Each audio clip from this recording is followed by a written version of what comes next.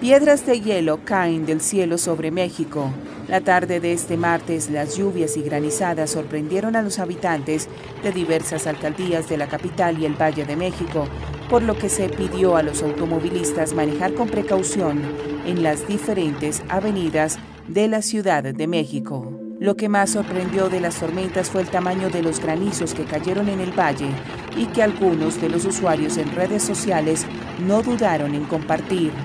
del tamaño de una pelota de golf fue la dimensión de algunos de los bloques de hielo encontrados tras las granizadas que cubrieron de hielo algunas de las calles. Los municipios de Coacalco, Ecatepec, Tultitlán, Tepotzotlán, fueron de los que más resintieron los estragos de las fuertes lluvias y granizadas en la tarde de este martes. Ante las intensas lluvias, la Secretaría de Gestión Integral de Riesgos y Protección Civil emitió una serie de recomendaciones para los habitantes de la Ciudad de México portar paraguas o impermeable y no arrojar grasas o basuras en el drenaje, barrer coladeras y mantenerlas libres de basura u objetos que las obstruyan,